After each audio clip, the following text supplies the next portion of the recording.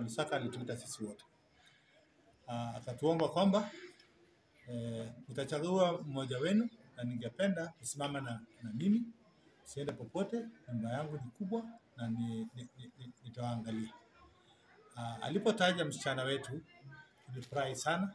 Ndugu wetu pia tulipokuwa tunakubali hayo maneno Tongo hata alikubali hiyo jioni tulipokuwa Bungoma.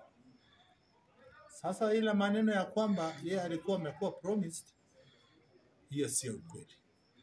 Ni yeye alijitakia mwenyewe na akaamua kwenda. Kwa hivyo bado tunamwomba ikiwezekana arudi.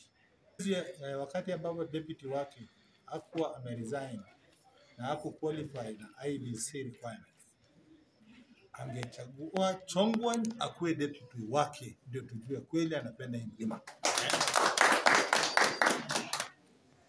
Kwa hivyo hata zile promises anatuambia extra CC position, extra chief officer position, hiyo ni kutuada. Baada ya kupita kura, hiyo tutaonea kwa view sasa.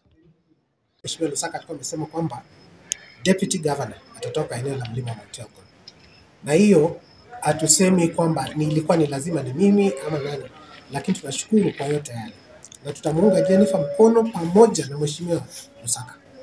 Kwa sababu ya maneno machache ile tumeshaiona. Moja ni kwamba watu wa Bungoma wanamhitaji kwa mambo mazuri aliyoyafanya hapo hapo awali, na mwenyewe ameachilia ile kazi kubwa angeweza kupata kwa sababu ya mapenzi ya watu ya Bungoma County.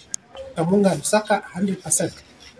So hao wote tunashukuru kwa sababu walikubali kumuunga mkono, na ndugu yetu yule alienda pia, tunamwambia ah, hasira hasara, lakini tafadhali rudi nyumbani, kwa sababu heshima ile Lusaka alimpatia 2013 na 2017. Jamani, unataka mara ngapi ndio utosheke?